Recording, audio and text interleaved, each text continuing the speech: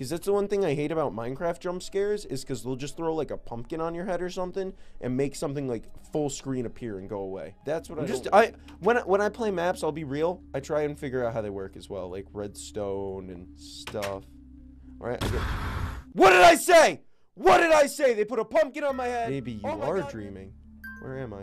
I can't move. Or maybe I can't. If I didn't have this torch, I could not. You're still in the hands of the. It is a pumpkin. I knew it.